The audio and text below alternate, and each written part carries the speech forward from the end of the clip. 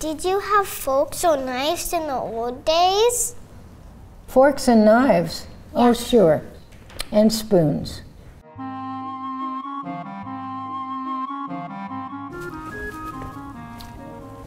Hello. Hi. Hi, Micah. Hi. I'm Alice. Nice to meet you, Alice. Alice. Alice, oh, sorry. What is your name? Clara. Clara. I'm very happy to meet you. What are we here to talk about? Well, I think it might be how old I am. How old are you? I'm in my 101st year. 101. 101? Right. Did you ever know anybody else that old? No. I don't even know anybody else that old. Where are you from? Well, originally I was born in Philadelphia, way, way over on the East Coast. I was born in New York City. Oh, you were? So you were born in the East too? Yeah. How was it like back then? We didn't have radio. We didn't have television. No telephones when I was a little girl. There were not any trucks. They had wagons and horses pulled them. Wow, that must have been a long time ago. It was a long, long time ago. Back then, did you see any wars? I did, and I was in the war. I was in the Second World War. We worked on decoding and encoding machines, very secret work. The officers had guns, and they said if you told any of the secrets, they would shoot you dead. But nobody got shot. Good then. Yeah. What would you do for fun? Oh, when I was a little girl, I had uh, dolls and blocks, but I really liked boys' things. I liked marbles and tops, and I thought boys were much luckier than girls. We had to wear skirts and stockings, even in the coldest weather.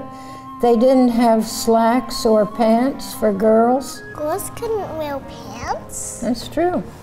That is not fair. No. What is your job?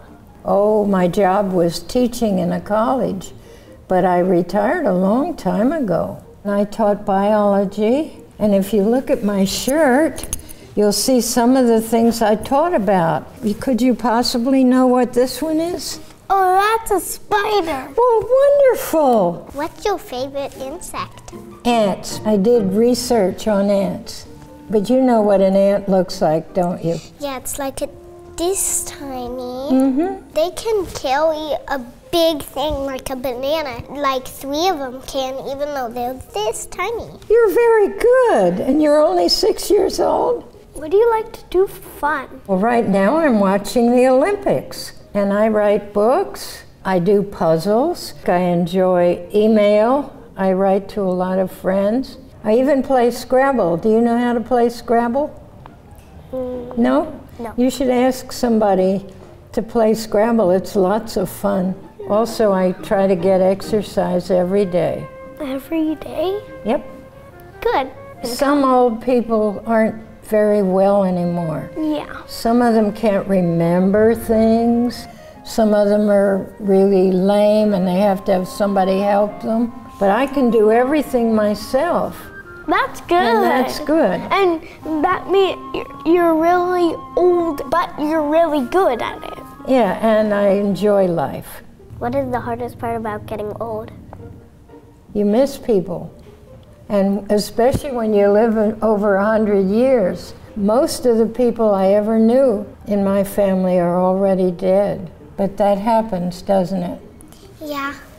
A person in my family died. And did you know the person? Yeah, it's my great grandfather. We still have a picture of him up on our mantle th- to remind us of when I was playing with him. That's wonderful. Are you afraid of dying? No, I'm not afraid of dying. I feel very healthy and happy. My doctor said, maybe you'll just die in your sleep.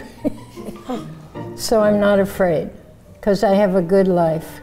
What's the secret to living a long life? Being happy, working hard, getting exercise, doing things for yourself, not expecting other people to do everything for you. And all of those things make you live a long time. Nice to meet you. It's wonderful to meet you. Have a great life. I'm very proud of you. Thank you. You're welcome. Nice to meet you.